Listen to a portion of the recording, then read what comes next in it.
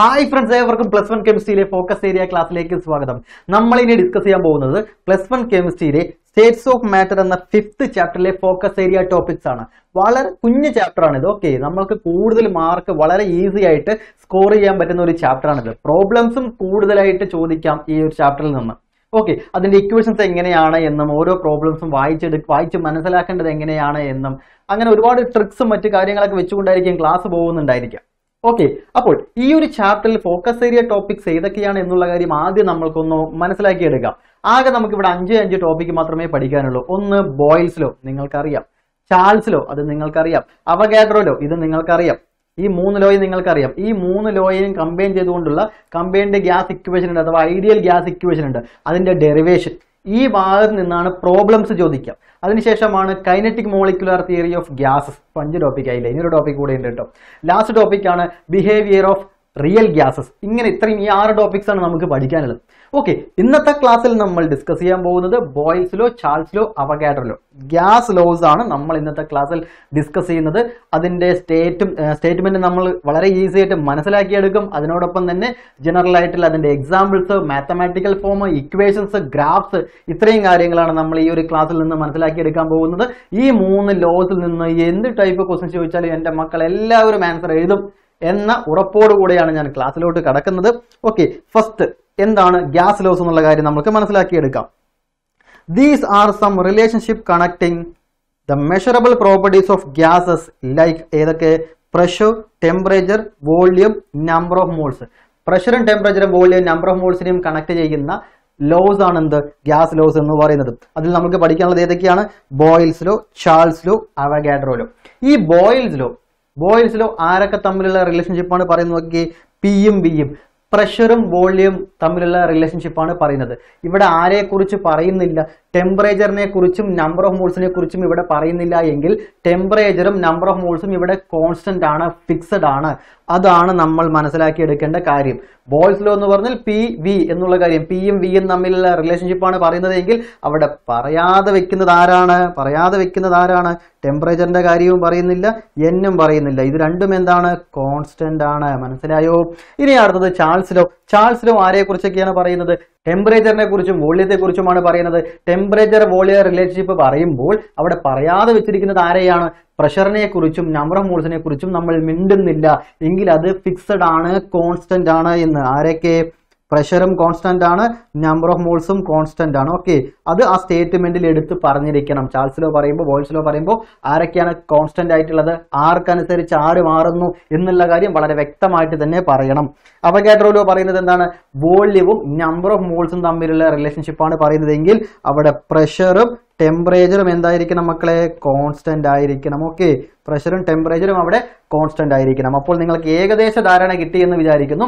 ഇനി എങ്ങനെയാണ് ഈ ലോസ് ഒക്കെ ഓർത്തു വയ്ക്കേണ്ടത് എന്നുള്ള കാര്യത്തിലോട്ട് കടക്കാം. സ്റ്റേറ്റ്മെന്റ് എങ്ങനെ പഠിക്കണം? മാത്തമാറ്റിക്കൽ ഫോം എങ്ങനെയാണ് എന്നുള്ള കാര്യങ്ങളൊക്കെ നമുക്ക് നോക്കാം. ഓക്കെ ആദ്യം നമ്മൾ കിടക്കുന്നത് ബോയിൽസ് ലോയിലോട്ടാണ് ഈ ഈ ഫിഗർ കാണുമ്പോൾ തന്നെ നിങ്ങൾക്ക് പ്രഷറും വോളിയും തമ്മിലുള്ള റിലേഷൻഷിപ്പ് പറയാനായിട്ട് സാധിക്കും. മക്കളെ നിങ്ങൾ തന്നെ ഒന്ന് പറയാനായിട്ട് ശ്രമിച്ച ഈ ഫിഗർ നോക്കിയിട്ട്. പ്രഷറും വോളിയും തമ്മിലുള്ള റിലേഷൻഷിപ്പ് ഈ ആദ്യത്തെ ഫിഗറിൽ നിന്ന് നിങ്ങൾക്ക് മനസ്സിലാകുന്ന കാര്യം എന്താണ്? നമ്മൾ ഒരു പ്രഷർ ഇങ്ങനെ കൊടുക്കുന്നു. ഫസ്റ്റ് ഫിഗറിൽ എന്താണ്? ഒരു പ്രഷർ ഇങ്ങനെ കൊടുക്കുന്നു. ആ സമയത്ത് ഒരു വോളിയം ഉണ്ട്. വി ഇനി പ്രഷർ ഡബിൾ ആക്കി അല്ലേ ആ നേരത്തെ കൊടുത്ത പ്രഷറിന് ഡബിൾ പ്രഷർ നമ്മൾ കൊടുക്കുന്നുവെങ്കിൽ ഇത്രയും ഗ്യാസിന്റെ വോള്യം എന്തായിട്ട് മാറി? നേർ പകുതിയായിട്ട് മാറി. പകുതിയായിട്ട് മാറിയോ ഇല്ല എന്നുള്ളതൊന്നും നമ്മൾ മനസ്സിലാക്കേണ്ട. ഇപ്പൊ മനസ്സിലാക്കേണ്ട കാര്യം എന്താണ്? പ്രഷർ കൂടുതലായിട്ട് കൊടുത്തപ്പോൾ ഗ്യാസിന്റെ വോള്യം എന്ത് ചെയ്തു? കുറഞ്ഞു. പ്രഷർ കൂട്ടിയപ്പോൾ വോളിയം കുറഞ്ഞു. മറ്റൊരു കാര്യം നോക്കിക്കേ ഇവിടെ സിറിഞ്ച് എടുത്തിട്ടുണ്ട് അല്ലേ രണ്ട് സിറിഞ്ച് എടുത്തിട്ടുണ്ട്. ആ സിറിഞ്ചിൽ ആ പിന്നുള്ള ഭാഗം നമ്മൾ കളഞ്ഞിട്ട് ബാക്കിയുള്ള ആ എൻഡ് നമ്മൾ വിരൽ വെച്ചുകൊണ്ട് എന്ത് ചെയ്യുന്നു? ക്ലോസ് ചെയ്യുന്നു. അതിനുശേഷം നല്ലപോലെ പ്രസ് ചെയ്യാം. എയർ ഉള്ളിലോട്ട് കയറ്റി വെച്ചതിന് ശേഷം എയർ ഉള്ളിലോട്ട് കയറ്റി വെച്ചാൽ ഇപ്പൊ അതിനകത്ത് ഇത്രയും വോള്യത്തിൽ എന്തുണ്ട്? എയർ ഉണ്ട്. അത് നമുക്ക് കാണുവാൻ വേണ്ടിയിട്ടാണ് ബലൂണിനകത്ത് എയർ ഫില്ല് ചെയ്തിട്ട് അതിനോട്ട് ഉള്ളിലോട്ട് വെച്ചിരിക്കുന്നത് ബലൂൺ തന്നെ വേണമെന്നില്ല. നമ്മൾക്കത് മനസ്സിലാവുമല്ലോ. ഈ സിറിഞ്ചിന്റെ ബാക്കിലോട്ട് വലിക്കുന്ന സമയത്ത് അതിനകത്ത് എയർ ഫില്ലായിട്ടുണ്ടായിരിക്കും ഇനി നോസിൽ അടച്ചു വെച്ചതിന് ശേഷം എന്ത് ചെയ്യുന്നു? ഈ സിറിഞ്ചിനെ നല്ലപോലെ പ്രസ് ചെയ്യുന്നു. നമ്മൾ നല്ലപോലെ പ്രഷർ കൊടുത്താൽ ഈ സിറിഞ്ച് ഇതാ ഈ സൈസിൽ നിന്ന് എന്തായിട്ട് മാറും? ഇത്രത്തോളം ഇങ്ങോട്ടേക്ക് മൂവ് ചെയ്യും. പക്ഷെ നമ്മൾ വിരൽ വെച്ചുകൊണ്ട് ക്ലോസ് ചെയ്തതുകൊണ്ട് ഒരു ഗ്യാസ് മോളിക്യൂൾസും തന്നെ പുറത്തോട്ട് പോയിട്ടുണ്ടായിരിക്കില്ല. അപ്പോൾ അതിനകത്തുള്ള ഗ്യാസിന്റെ വോള്യത്തിന് എന്ത് മാറ്റം സംഭവിച്ചു? ഗ്യാസ് അങ്ങനെ തന്നെ ഉണ്ട് അതിനകത്ത്. നമ്പർ ഓഫ് മോൾസ് കൂടിയിട്ടുമില്ല കുറഞ്ഞിട്ടുമില്ല. ഗ്യാസ് അതുപോലെ തന്നെയാണ് പക്ഷെ നമ്മൾ നല്ലപോലെ പ്രഷർ കൊടുത്തപ്പോൾ ഇത്രയും വോളിയം എന്തായിട്ട് മാറി? ഇത്ര വോളിയം ആയിട്ട് മാറി. ഇല്ലേ ഇതാ ഇത്രയും വലിയ വോളിയം ആയിരുന്നു. അത് എന്തായിട്ട് മാറി മക്കളെ? ഇത്രയും ചെറിയൊരു വോളിയം ആയിട്ട് മാറി. അപ്പോൾ പ്രഷർ ഇൻക്രീസ് ചെയ്താൽ എന്ത് ചെയ്യുന്നുണ്ട്? വോളിയം കുറയുന്നുണ്ട്. ഇവിടെ മറ്റൊരു കാര്യം കൂടെ ഇവിടെ പറഞ്ഞിട്ടുണ്ട്. നമ്മൾ ബ്രീത്ത് ഇൻ ചെയ്യുന്ന സമയത്തും എക്സൈൽ സമയത്തൊക്കെ എന്താ സംഭവിക്കുന്നുള്ള കാര്യം. ഉള്ളിൽ നോക്കിക്കേ ഇവിടെയാണ് എയർ എങ്ങനെയുള്ളത് അല്ലേ? എയർ എങ്ങനെയുള്ളത് എയറിനകത്തുള്ളത് ഇവിടെ നല്ലപോലെ പ്രഷർ കൊടുക്കുമ്പോൾ പ്രഷർ കൊടുക്കുമ്പോൾ എന്ത് ചെയ്യുന്നുണ്ട്? വോള്യം കുറയുന്നുണ്ട്. പ്രഷർ കുറഞ്ഞാലോ? റിലീസ് ചെയ്യാം. റിലീസ് ചെയ്യുക റിലീസ് എന്ന് പറഞ്ഞാൽ പ്രഷർ കുറവാണ് എങ്കിൽ ഒരുപാട് എയർ ഉള്ളിലോട്ട് കയറുന്നുണ്ടായിരിക്കും അല്ലേ? അതും ഈ ബോയ്സ് ലോ വെച്ചുകൊണ്ട് പറയാവുന്ന ഒരു കാര്യമാണ്. ഇനി മറ്റൊരു കാര്യം ഇവിടെ ഒരു ഫിഗർ തന്നിരിക്കുന്ന നോക്കിയേ ഈ ഫിഗറിൽ ഇപ്പോ ഈ ഒരു ആൾ തന്നെ വേണമെന്നില്ല ഒരു മെയിൻ ആയിക്കോട്ടെ. എന്താണെങ്കിലും വെച്ചാൽ എയർ ബബിൾസ് റിലീസ് ചെയ്യുന്നുണ്ട് അല്ലേ? വാട്ടറിന്റെ അടിയിൽ വെച്ചുകൊണ്ട് എയർ ബബിൾസ് റിലീസ് ചെയ്യുകയാണെങ്കിൽ ഏറ്റവും അടിയിലാണ് എങ്കിൽ എയർ ബബിൾസിന്റെ സൈസ് വളരെ കുറവായിരിക്കും. മുകളിലോട്ട് വരുന്നതിനനുസരിച്ച് എയർ ബബിൾസിന്റെ സൈസ് എന്ത് ചെയ്യുന്നുണ്ട് മക്കളെ നോക്കിക്കേ. എയർ ബബിൾസിന്റെ സൈസ് കൂടി കൂടി വരുന്നുണ്ട്. താഴത്ത് ഇത്ര സൈസേ ഉള്ളൂ എങ്കിൽ മുകളിലോട്ട് വരുന്നതിനനുസരിച്ച് എന്ത് ചെയ്യുന്നുണ്ട്? ആ എയർ ബബിളിന്റെ സൈസ് കൂടി കൂടി വരുന്നുണ്ട്. എയർ ഈ മുകളിലോട്ട് വരുന്ന സമയത്ത് ആ ബബിളിനകത്ത് വീണ്ടും വീണ്ടും എയർ ഒന്നും കയറുന്നില്ല അതിൽ നിന്നും എയർ പുറത്തോട്ട് പോകുന്നില്ല. നമ്പർ ഓഫ് മോൾസ് ഫിക്സഡ് ആണ്. താഴത്തുള്ള അതേ ബബിൾ മുകളിലെത്തുമ്പോൾ സൈസ് കൂടാനുള്ള കാരണം എന്തായിരിക്കും? വാട്ടറിന്റെ അടിയിൽ പ്രഷർ വളരെ കൂടുതലാണ്. അതുകൊണ്ട് തന്നെ അവിടെയുള്ള ഗ്യാസിന്റെ വോള്യവും വളരെ എന്തായിരിക്കും? കുറവായിരിക്കും. മുകളിലോട്ട് എത്തുമ്പോൾ പ്രഷർ കുറഞ്ഞു വോള്യം കൂടി. ഇതാണ്. ഓക്കെ ഇപ്പൊ നിങ്ങളോട് ഒരു മീനിന്റെ ഫിഗർ വരയ്ക്കാൻ പറയണമെന്ന് വിചാരിക്കുക. ഇങ്ങനെ ഒരു മീനിന്റെ ഫിഗർ വരയ്ക്കാൻ പറയുകയാണെങ്കിൽ വേഗം ഒന്ന് വരയ്ക്കുന്നു. ഇങ്ങനെ വരയ്ക്കുന്നതിനോടൊപ്പം കണ്ണ് വായൊക്കെ വരച്ചു കൊടുത്ത് ചിറകൊക്കെ വരച്ചു കൊടുത്ത് ആ എയർ ബബിൾസ് നമ്മൾ ഒരു ഭംഗിക്ക് വേണ്ടി ഇങ്ങനെ എയർ ബബിൾസ് ഒക്കെ വരയ്ക്കും അല്ലേ? ഇപ്പോൾ ഈ വരച്ച എയർ ബബിൾസിന്റെ പ്രത്യേകത എന്താ? നമ്മൾ അറിയാതെ വരച്ചതാ. ഒരു എയർ റിലീസ് ചെയ്തത് താഴത്തെ സൈസ് വളരെ കുറവ് മുകളിലോട്ട് വരുന്നതിനനുസരിച്ച് എന്ത് ചെയ്യുന്നുണ്ട്? സൈസ് കൂടി കൂടി വരുന്നുണ്ട്. ഇത് നമ്മൾ ബോയിൽസിലോ അറിഞ്ഞിട്ടാണോ ഈ ഫിഗറൊക്കെ വരയ്ക്കുന്നത്? നമ്മൾ ഒന്നാം ക്ലാസ്സിൽ രണ്ടാം ക്ലാസ്സിലൊക്കെ വരച്ച ഫിഗർ ഇതൊക്കെ അപ്പൊ നമ്മൾ അറിയാതെ തന്നെ ഈ ഒരു കാര്യം ഫോളോ ചെയ്ത് വരുന്നുണ്ട്. ഇതിന്റെ സംഭവത്തിന്റെ ഈ ഒരു കാര്യത്തിന്റെ പിന്നിലുള്ള സയൻസ് എന്താണ്? വെള്ളത്തിന് അടിയിലാണെങ്കിൽ പ്രഷർ വളരെ കൂടുതലായിരിക്കും. അതുകൊണ്ട് തന്നെ വോളിയം വളരെ കുറവായിരിക്കും. അതേ എയർ ബബിൾ മുകളിലോട്ട് എത്തുകയാണെങ്കിൽ പ്രഷർ വളരെ കുറവാണ്. അതുകൊണ്ട് തന്നെ സൈസ് വളരെ കൂടും വോള്യം വളരെ വല്ലാണ്ട് കൂടും. ഇവിടെയെല്ലാം ടെമ്പറേച്ചറും ഈ പറഞ്ഞ എക്സാമ്പിൾസിൽ എല്ലാം തന്നെ എന്താണ്? ടെമ്പറേച്ചറും നമ്പർ ഓഫ് മോൾസും ഫിക്സഡ് ആണ്. ഫിക്സഡ് ആണ്. അപ്പോൾ ഇവിടെ ആർക്കനുസരിച്ചാണ് ആര് മാറുന്നത്? പ്രഷറിനനുസരിച്ചാണ് വോള്യം മാറുന്നത്. അപ്പോൾ ഇവിടെ കോൺസ്റ്റന്റ് ആക്കി വെക്കേണ്ടത് ആരൊക്കെയാണ് ടെമ്പറേച്ചറിനെയും നമ്പർ ഓഫ് മോൾസിനെയും ബോൾസിനോട് സ്റ്റേറ്റ്മെന്റ് നോക്കിക്കേ. ഇത് states that at constant temperature ടെമ്പറേച്ചറും number of മോൾസും കോൺസ്റ്റന്റ് ആണെന്ന് പറഞ്ഞു അത് സ്റ്റേറ്റ്മെന്റിൽ എടുത്ത് പറയണം. At constant temperature the volume of a gas of sorry volume of a fixed mass of a gas ഒരു ഗ്യാസിന്റെ മാസ് ഫിക്സഡ് ആണ് എന്ന് പറഞ്ഞാൽ അതിന്റെ മാസ് കുറയുന്നില്ല മാസ് കൂടുന്നില്ല. അതായത് അതിൽ നിന്ന് ഗ്യാസ് മോളിക്യൂൾസ് പുറത്തോട്ട് പോകുന്നില്ല എക്സ്ട്രാ ഗ്യാസ് മോളിക്യൂൾസ് അതിനകത്തോട്ട് കയറുന്നില്ല. എന്ന് പറഞ്ഞാൽ എന്താണ്? മാസ് ഫിക്സഡ് ആണെന്ന് പറഞ്ഞാൽ എന്താണ്? നമ്പർ ഓഫ് മോൾസ് ഫിക്സഡ് ആണ്. നമ്പർ ഓഫ് മോൾസ് ഫിക്സഡ് ആണ്. അതാണ് temperature number of moles fixed ആണ് എന്നുള്ളത് സ്റ്റേറ്റ്മെന്റിൽ എടുത്ത് പറയണം. Okay at constant temperature the volume of a fixed mass of a gas is inversely proportional to its pressure okay volume എന്ന് പറയുന്നത് പ്രഷറിന് ഇൻവേഴ്സലി പ്രൊപ്പോർഷൻ ആണ് എന്ന്. അതെങ്ങനെ നമ്മൾക്ക് മാത്തമാറ്റിക്കലി എഴുതാമെന്നുള്ള കാര്യം നോക്കിക്കേ മക്കളെ. വോള്യം എന്ന് പറഞ്ഞാൽ volume of a gas is directly proportional to one by P ശരിയോ? വൺ ബൈ പി ഇതിന് രണ്ട് രീതിക്ക് വായിക്കാം. Volume directly proportional to one by P അല്ലെങ്കിൽ volume inversely proportional to P ഇതിന് തന്നെ മറ്റൊരു രീതിക്ക് കൂടെ എഴുതാം. എങ്ങനെ നോക്കിക്കേ? Pressure directly proportional to one by V എന്നും എഴുതാം. പ്രഷർ കൂടിയാൽ വൺ ബൈ വി കൂടുന്നു. പ്രഷർ കുറഞ്ഞാൽ വൺ ബൈ വി കുറയുന്നു. അത് രണ്ടും ഡയറക്ട്ലി പ്രപ്പോഷനിലാണ് അതുപോലെ തന്നെ ഇവിടെയും വോള്യം കൂടിയാൽ വൺ ബൈ പി കൂടുന്നു. വോള്യം കുറഞ്ഞാലോ വൺ ബൈ പി കുറയുന്നു. ഓക്കെ അപ്പോൾ അത് വ്യക്തമായിട്ട് നിങ്ങൾക്ക് മനസ്സിലായി എന്ന് വിചാരിക്കുന്നു. ഇനി നമുക്ക് ഈ പ്രപ്പോഷനാലിറ്റി എടുത്ത് മാറ്റണം. അതിനുവേണ്ടി ചെയ്യുന്ന കാര്യം എന്താണെന്ന് നോക്കിക്കേ? വി ഈക്വൽ ടു എന്നാക്കുന്നു. പ്രപ്പോർഷനാലിറ്റി എടുത്ത് മാറ്റി ഈക്വൽ ടു എന്ന് കൊടുക്കുമ്പോൾ അവിടെ എന്തൊക്കെ വേണ്ടി വരും? ഈക്വൽ ടു ചേർക്കുമ്പോൾ അവിടെ ഒരു കോൺസ്റ്റന്റ് കൂടെ വേണ്ടി വരും അല്ലേ? V equal to one by P ഈ ഡിവൈഡഡ് ബൈ പി അങ്ങോട്ട് പോയാൽ എന്തായിട്ട് മാറും? P into V equal to എന്ന് കിട്ടും കെ എന്ന് കിട്ടും അല്ലേ ഒരു ഗ്യാസിന്റെ പ്രഷറും ആ ഗ്യാസിന്റെ വോള്യവും കൂടെ മൾട്ടിപ്ലൈ ചെയ്താൽ എപ്പോഴും ഒരു കോൺസ്റ്റന്റ് ആയിരിക്കും. എപ്പോഴും ഒരു കോൺസ്റ്റന്റ് ആയിരിക്കും. അതാണ് നമ്മൾ ഈ ഭാഗത്ത് നിന്ന് പഠിക്കുന്ന വളരെ ഇമ്പോർട്ടന്റ് ആയിട്ടുള്ള കാര്യം. ബോയിൽസ് ലോയിൽ പി ഇന്റു വി എപ്പോഴും എന്തായിരിക്കും? ഒരു കോൺസ്റ്റന്റ് ആയിരിക്കും. ഒരു ഗ്യാസിന്റെ ടെമ്പറേച്ചർ കോൺസ്റ്റന്റ് ആണ് നമ്പർ ഓഫ് മോൾസും കോൺസ്റ്റന്റ് ആണ്. എങ്കിൽ പി ഇന്റു വി മൾട്ടിപ്ലൈ ചെയ്താൽ എപ്പോഴും എന്തായിരിക്കും? കോൺസ്റ്റന്റ് ആയിരിക്കും. മക്കളെ പിയും മാറും വിയും മാറും. ഒരു പി മാറുന്നു അപ്പൊ വി മാറി. പി കുറയുന്നു വി കൂടുന്നു. അങ്ങനെ അത് പിയും വിയും അങ്ങോട്ടും ഇങ്ങോട്ടും മാറിക്കൊണ്ടിരിക്കും. പക്ഷെ അത് രണ്ടും കൂടെ മൾട്ടിപ്ലൈ ചെയ്യുമ്പോൾ എപ്പോഴും എന്തായിരിക്കും? ഈക്വൽ ആയിരിക്കും. ഇപ്പൊ ഒരു ചെറിയൊരു എക്സാമ്പിൾ വെച്ചുകൊണ്ട് പറഞ്ഞുതരാം. ആ ഒരു ഇതാണ് ഒരു പ്രഷർ എന്ന് വിചാരിക്കുക മക്കളെ. ഇതൊരു ഗ്യാസിന്റെ പ്രഷറാണ് ഗ്യാസിന്റെ വോള്യമാണ് എന്ന് വിചാരിക്കാം. ഓക്കെ അങ്ങനെ ഇരിക്കവേ ആദ്യം ആ ഗ്യാസിന്റെ പ്രഷർ എന്ന് പറഞ്ഞാൽ ടു എ ടി എം ആണ് എന്ന് വിചാരിക്കൂ. അപ്പോഴുള്ള ഗ്യാസിന്റെ വോള്യം എന്ന് പറഞ്ഞാൽ ഒരു എക്സാമ്പിളിന് ഞാൻ ഒരു എയ്റ്റ് എടുക്കുന്നു. എയ്റ്റ് എടുക്കുന്നു. ഓക്കെ ഇപ്പോൾ ഞാൻ ആ പ്രഷർ ഫോർ ആയിട്ട് കൂട്ടി. ഫോർ ആയിട്ട് കൂട്ടി. രണ്ട് എ ടി എമ്മിൽ നിന്ന് ഫോർ എ ടി എം ആയിട്ട് കൂട്ടി. അപ്പോൾ വോള്യം എന്ത് ചെയ്യും? കുറയും. വോള്യം കുറഞ്ഞ് അത് ഫോർ ആയിട്ട് മാറി. എയ്റ്റിൽ നിന്ന് ഫോർ ആയിട്ട് മാറി. ഈ ഒരു എക്സാമ്പിൾ നിങ്ങളൊന്ന് നോക്കിക്കേ.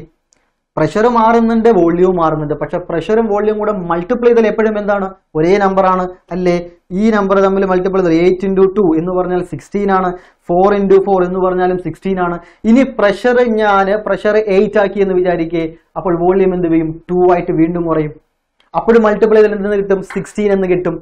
പ്രഷർ മാറും വോള്യൂം മാറും. പക്ഷെ രണ്ടും കൂടെ മൾട്ടിപ്പിൾ ചെയ്താൽ എപ്പോഴും ഈക്വൽ ആയിരിക്കും. അതാണ് അവിടെ പറയുന്ന കാര്യം. പി ഇന്റു വി എന്ന് പറഞ്ഞാൽ ഇതായിരിക്കും കോൺസ്റ്റന്റ് ആയിരിക്കും. ഓക്കെ അതിനെ ജനറൽ ആയിട്ട് നമ്മൾക്ക് ഇങ്ങനെ എഴുതാം. നോക്കിക്കേ consider a fixed amount of gas at constant temperature ഒരു ഗ്യാസിന്റെ മാസ് ഫിക്സഡ് ആണ് അറ്റ് കോൺസ്റ്റന്റ് ടെമ്പറേച്ചർ അപ്പോൾ ഇവിടെ പറയുന്ന കാര്യം എന്താണ്? ബോയിൽസ് ലോ ആണ് എന്ന് ഓർക്കാം. അപ്പൊ ബോയിൽസിലോ ലോ പറയുന്നത് കൊണ്ട് ഇത് ഓക്കെ അല്ലെങ്കിൽ ജനറൽ ആയിട്ട് ഇപ്പൊ പെട്ടെന്ന് ഒരു ക്വസ്റ്റ്യൻ പേപ്പറിൽ ആദ്യത്തെ സ്റ്റേറ്റ്മെന്റ് ഇതാണ് എങ്കിൽ നമ്മൾ മനസ്സിലാക്കി എടുക്കണം അത് ബോയിൽസ് ലോ ആണെന്ന്. എങ്ങനെ? ഫിക്സഡ് എമൗണ്ട് ഓഫ് ഗ്യാസ് ഗ്യാസിന്റെ എമൗണ്ട് ഫിക്സഡ് ആണ്. ടെമ്പറേച്ചറും ഫിക്സഡ് ആണ്. എന്ന് പറഞ്ഞാൽ എന്താണ്? അത് ബോയിൽസ് ലോ ആണ്. Let V one and P one are its initial volume and pressure respectively ഒരു ഗ്യാസിന്റെ ആ ഒരു ഗ്യാസിന്റെ ആദ്യത്തെ പ്രഷർ എന്ന് പറഞ്ഞാൽ പി വൺ ആണ് ആദ്യത്തെ വോള്യൂം എന്ന് പറഞ്ഞാൽ വി വൺ ആണ്. ഓക്കെ ഇനി എന്താണ് അവർ പറയുന്നത്? Let the gas undergoes expansion gas എന്ത് ചെയ്യുന്നു? എക്സ്പാൻഡ് ചെയ്യുന്നു. എക്സ്പാൻഡ് ചെയ്യുന്നു എന്ന് പറഞ്ഞാൽ വോള്യം കൂടുന്നു. വോള്യം കൂടുകയാണെങ്കിൽ പ്രഷർ എന്ത് ചെയ്യും? കുറയും. പ്രഷർ കുറയും. So that it so that it's final volume and pressure becomes V two and P two respectively രണ്ടാമത്തെ വോള്യവും രണ്ടാമത്തെ പ്രഷറും അതായത് എക്സ്പാൻഡ് ചെയ്തതിന് സമയത്ത് കേട്ടോ എക്സ്പാൻഡ് ചെയ്ത രണ്ടാമത്തെ സ്റ്റേറ്റിൽ പ്രഷർ എത്രയാണ്? പി ടു വോള്യൂം എത്രയാണ്? വി ടു അതാണ് ഇവിടെ എഴുതുന്നത്. Pressure P two volume V two മക്കളെ പി വൺ പി ടു എന്ന് പറയുന്നത് സാർ പി ടു രണ്ടാമത്തെ ടു എന്ന് പറയുന്നത് വലുതല്ലേ? അങ്ങനെയാണെങ്കിൽ വി വൺ ചെറുതും വി ടു വലുതില്ല. എങ്ങനെയല്ലട്ടോ ഈ വണ്ണും ടൂവും കാണിക്കുന്നത് അതല്ല. ഇനീഷ്യലും ഫൈനലുമാണ് കാണിക്കുന്നത്. Initial pressure P one initial volume V one final pressure P two final volume V two അതാണ് കാണിക്കുന്നത് രണ്ട് സിറ്റുവേഷനിലുള്ളതാണ് രണ്ട് സമയങ്ങളിലുള്ള പ്രഷറും വോള്യമാണ് ഇത് രണ്ടും കൂടെ മൾട്ടിപ്പിൾ ചെയ്താൽ നമുക്ക് എന്ത് കിട്ടും? കെ എന്ന് പറയുന്ന ഒരു കോൺസ്റ്റന്റ് കിട്ടും. ഇത് രണ്ടും കൂടെ മൾട്ടിപ്പിൾ ചെയ്താലും എന്ത് തന്നെ ആയിരിക്കും? ആ ഒരു കോൺസ്റ്റന്റ് തന്നെ ആയിരിക്കും. തൊട്ട് മുന്നേ പറഞ്ഞ എക്സാമ്പിളിൽ സിക്സ്റ്റീൻ ആയിരുന്നു. അല്ലേ? അപ്പോൾ ഇതിന് ജനറലായിട്ട് നമ്മൾക്ക് ഇങ്ങനെ ഒരുമിച്ച് അങ്ങോട്ട് എഴുതാൻ നോക്കിക്കേ. P one P one V one ഒരു ഗ്യാസിന്റെ ഇനീഷ്യൽ പ്രഷറും ഇനീഷ്യൽ വോളിയം കൂടെ മൾട്ടിപ്ലൈ ചെയ്തപ്പോൾ നമ്മൾക്ക് എന്ത് കിട്ടി?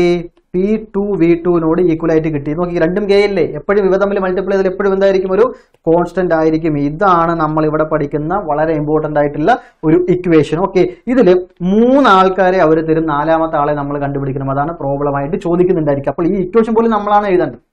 ഓക്കെ അപ്പോൾ ഒരു ഗ്യാസിന്റെ ഇനീഷ്യൽ പ്രഷർ ആദ്യം എത്ര പ്രഷർ ഉണ്ടായിരുന്നു അപ്പോഴത്തെ വോള്യം ഇതായിരുന്നു. പ്രഷർ ഞാൻ ഇങ്ങനെ മാറ്റിയപ്പോൾ വോള്യം എങ്ങനെ മാറി എന്നാണ് ചോദിക്കുക. മനസ്സിലായോ?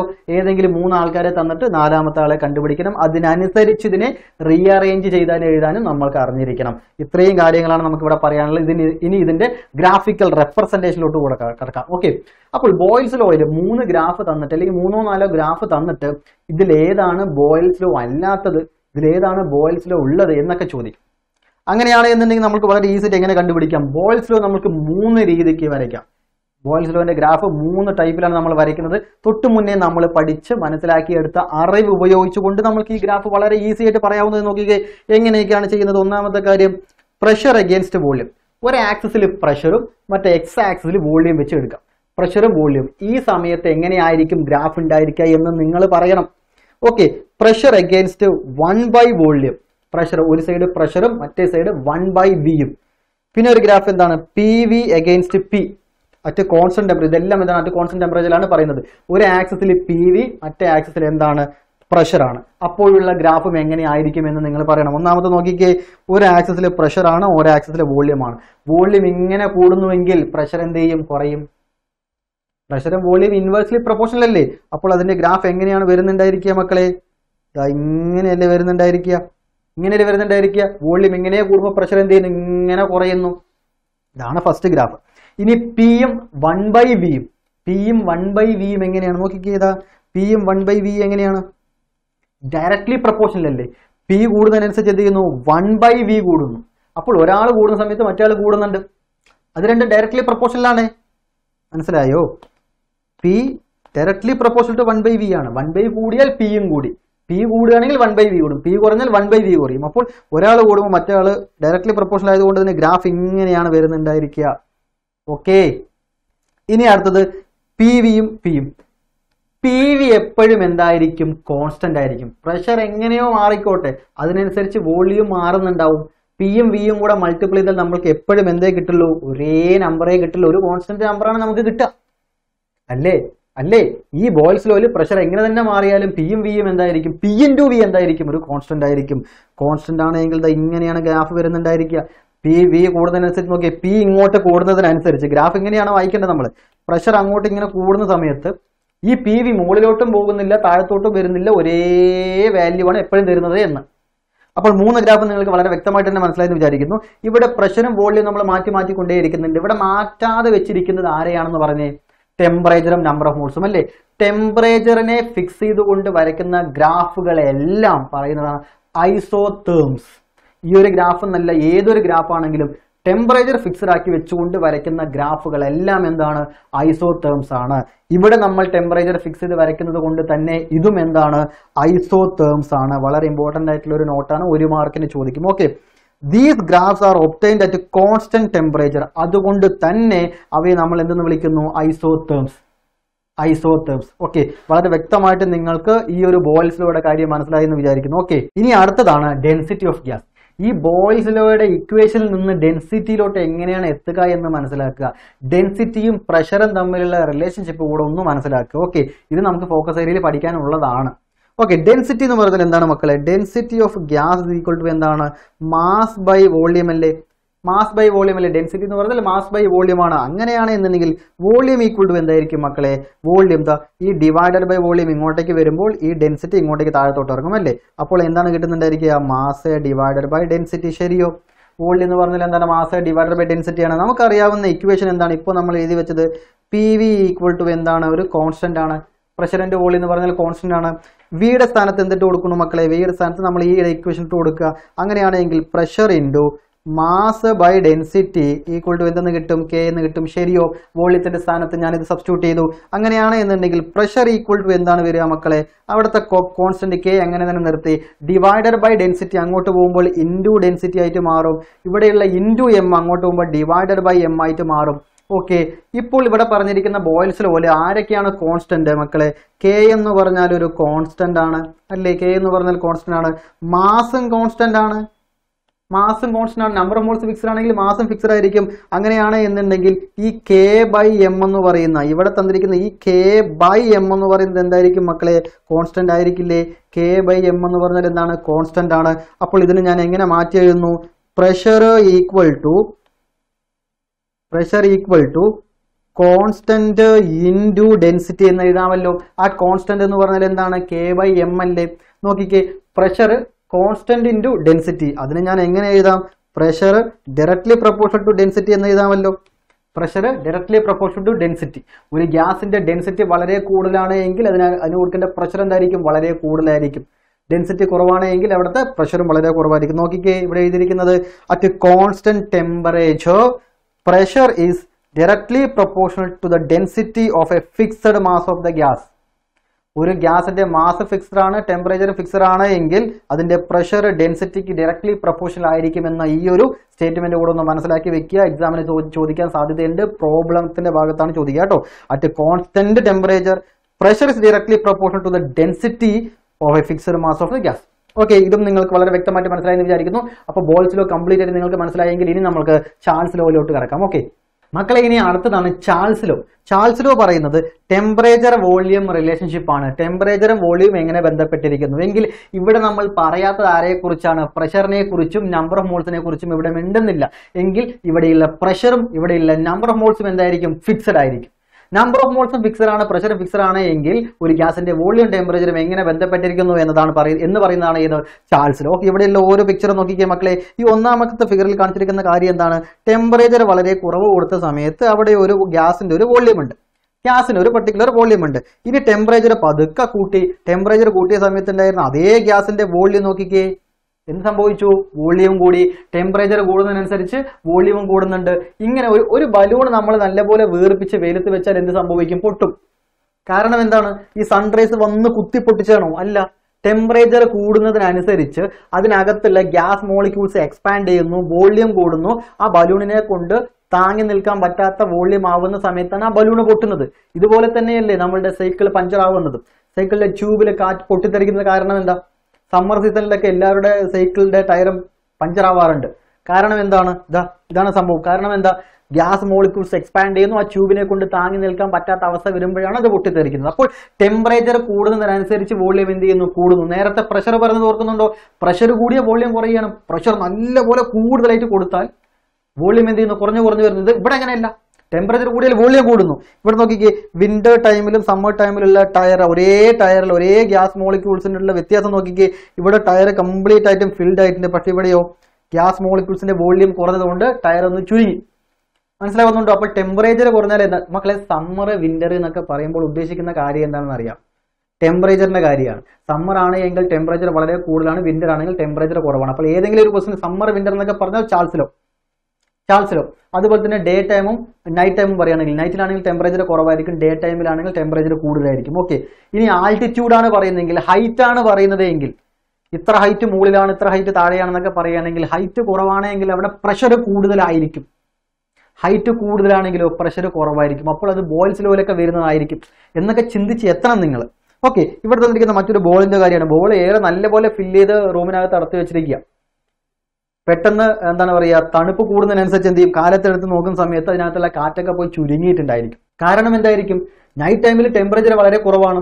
ഗ്യാസ് മോളിക്യൂൾസിന്റെ വോള്യം നല്ലപോലെ കുറയും. അതുകൊണ്ട് തന്നെ ബോളിനകത്തുള്ള ഗ്യാസ് മോളിക്യൂൾസിന്റെ വോള്യം കുറയുന്നു. ബോളി ചുരുങ്ങുന്നു. അതാണ് ഇവിടെ സംഭവിച്ചിരിക്കുന്നത്. ഈ ഒരു ബലൂണിന്റെ കാര്യം ഈ ബലൂൺ എല്ലാവരും എന്താ സംഭവം എന്ന് മനസ്സിലാക്കിയിട്ടുണ്ടാവില്ല അല്ലെ? എങ്ങനെയാണ് ഇത് ചാൾസ് ലോവുമായിട്ട് ബന്ധപ്പെടുത്തുന്നത് എന്നുള്ളതായിരിക്കും നിങ്ങളുടെ മനസ്സിലുണ്ടായിരിക്കുക. മക്കളെ ഇവിടെ നല്ലപോലെ ഹീറ്റ് കൊടുക്കുന്നതിനനുസരിച്ചാണ് ഈ ബലൂൺ മുകളിലോട്ട് മുകളിലോട്ട് പോകുന്നത്. അതെല്ലാവർക്കും അറിയാം.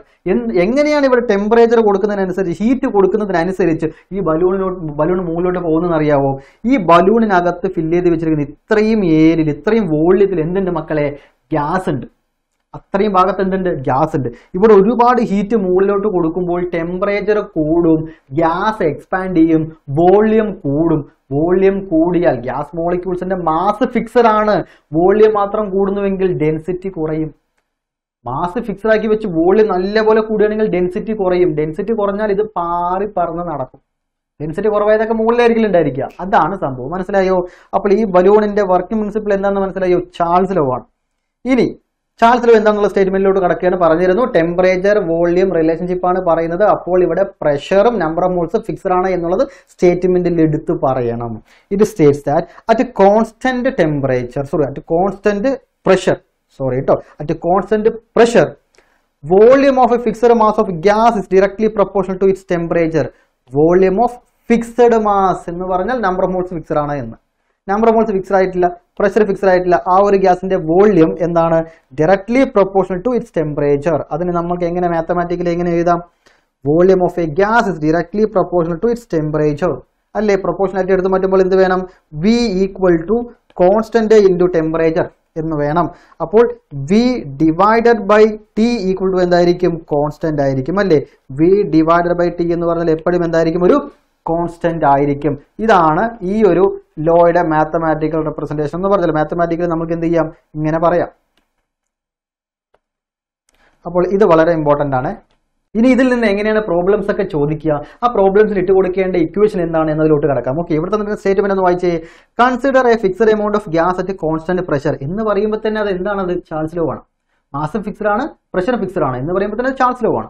Let V one be its volume at a temperature T one and V two be its volume at a temperature T two temperature T വണ്ണിലെ വോള്യൂം തന്നിട്ടുണ്ട് വി വൺ പിന്നെ ടെമ്പറേച്ചർ മാറ്റി ടി ടു എന്ന് പറയുന്ന ടെമ്പറേച്ചർ ആ സമയത്ത് ഉണ്ടാവുന്ന വോള്യമാണ് വി ടു ആദ്യത്തെ വി വൺ ടി വൺ ഞാൻ ഇവിടെ എഴുതുന്നുണ്ട്.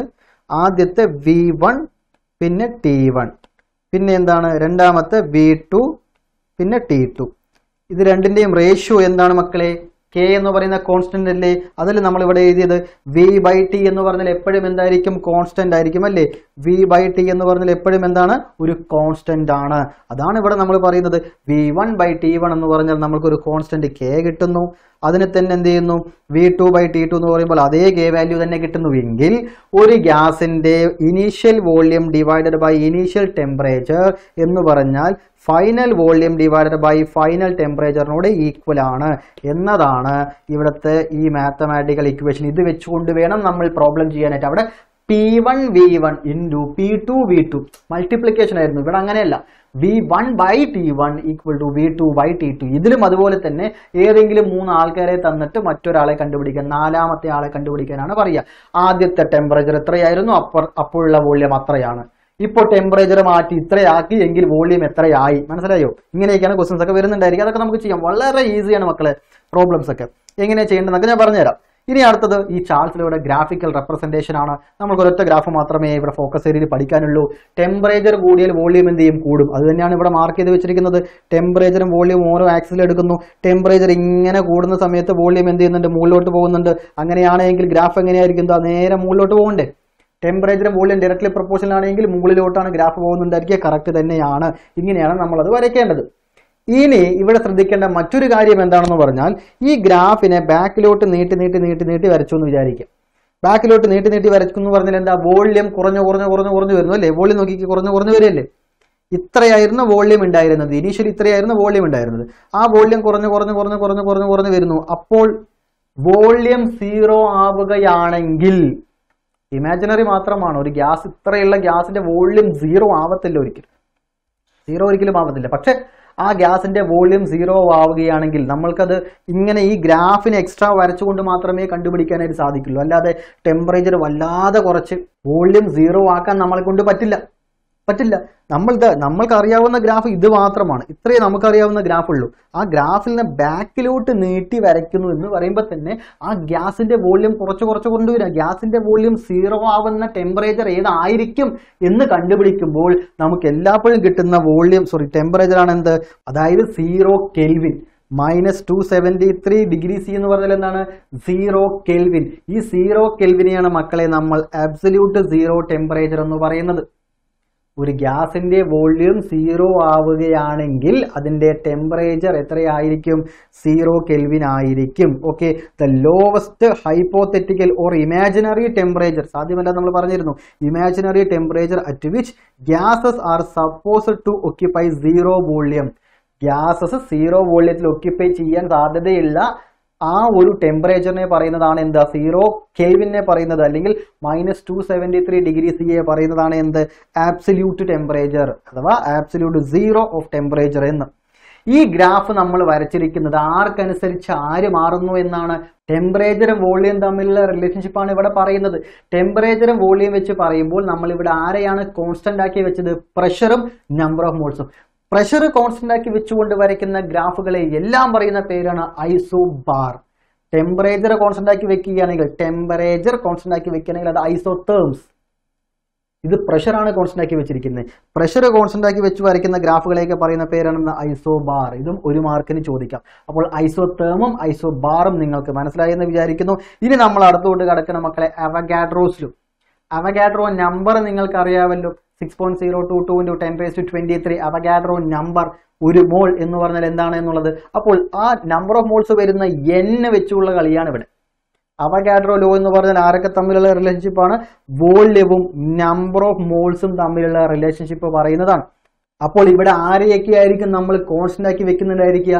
പ്രഷറിന്റെ കാര്യവും പറയുന്നില്ല ടെമ്പറേച്ചറിന്റെ കാര്യവും പറയുന്നില്ല എങ്കിൽ അത് രണ്ടും ഇവിടെ കോൺസ്റ്റന്റ് ആയിരിക്കണം. ഇത് സ്റ്റേറ്റ്മെന്റ് നോക്കിയേ രണ്ട് രീതിക്ക് നമ്മൾക്ക് ഇതിനെ പറയാം. It states that equal volume of all gases under the same conditions of temperature and pressure.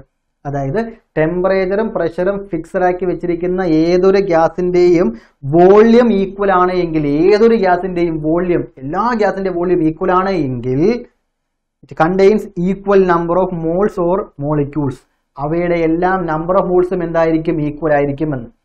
ഏതൊരു ഗ്യാസിന്റെയും ടെമ്പറേച്ചറും പ്രഷറും ഫിക്സ് ഫിക്സഡ് ആക്കി വെക്കുന്നു.